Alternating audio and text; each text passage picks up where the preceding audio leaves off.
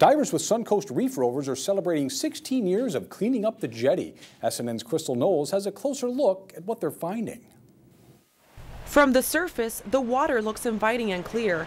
But once Greg Vines from Suncoast Reef Rovers hits the water, it's a whole other world. Biggest things we find here that are the most entrapment oriented for wildlife and for other fishermen, I mean their fishing gear, is the cast nets and the cast netting and all of the bait catching paraphernalia that fishermen will use. Wendy Chris, program coordinator of Keep Sarasota County Beautiful, says the long-term partnership has helped the on-land cleanup team really make a difference. Thankfully, the reef rovers are able to help us recover all of that trash and litter from, from under the water. But only experienced certified divers help with these cleanups. You know, one, two, three feet of visibility, which is still all we need to clean up. You can help keep the waterways clean and the wildlife safe by casting your used fishing lines. Vine says fishing lines and hooks kill wildlife both on land and in the water.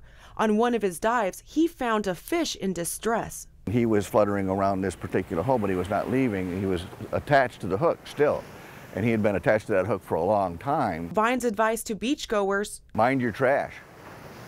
Don't throw it in the water. Don't throw it on the beach. Don't put your cigarette butts in the beach and then cover them up. Everyone should help protect the environment. This is our one big blue marble that we have, and this is Spaceship Earth. In Venice, Crystal Knowles, SNN Suncoast News Network. Keep Sarasota County Beautiful invites the community to join the Great American Cleanup from 8 to noon on April 16th.